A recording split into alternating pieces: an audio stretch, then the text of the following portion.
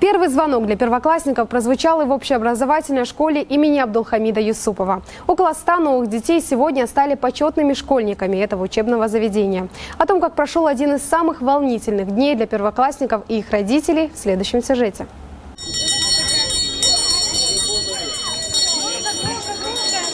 Этот звонок звучит для самых маленьких воспитанников школы имени Абдулхамида Юсупова. Для тех, кто только вступил в почетные ряды школьников и слышит его впервые. Праздник первоклассников, который сегодня особенно красивый и нарядный, по традиции начался с торжественной линейки. Здесь сегодня собрались все – учителя, директор, одноклассники и, конечно же, главная поддержка будущих грамотеев – родители. Несмотря на то, что это не первый ребенок идет у меня в школу, это очень волнительный день. Сегодня у нас и бабушка, и все остальные дети, и папа, все здесь присутствуют. Очень приятно, что такую линейку организовали. В этом году в школу имени Юсупова поступило около 100 новых детей, из них 95 – первоклассники. Школа к приему такого количества ребят полностью готова. За летний период в классах были проведены ремонтные работы и закуплено новое оборудование. В школе готовился? Да. Что ты готовил?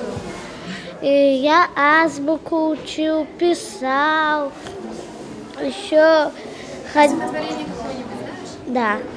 Белая береза под моим окном принакрыла снегом, точно серебром.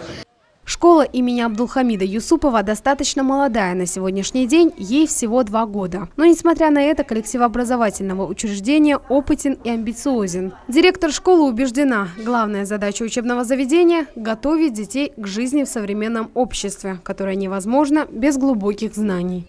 Сравнительно прошлого года у нас, конечно, увеличился контингент и детей, и педагогов. Мы школа молодая, мы всего второй год существуем.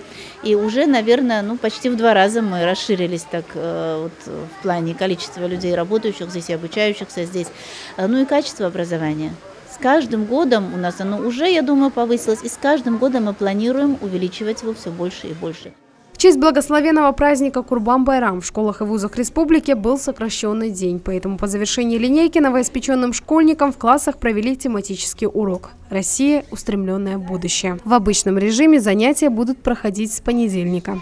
Хадижа Курбанова, Нурмухаммад Магомедов, телеканал ННТ, Махачкала.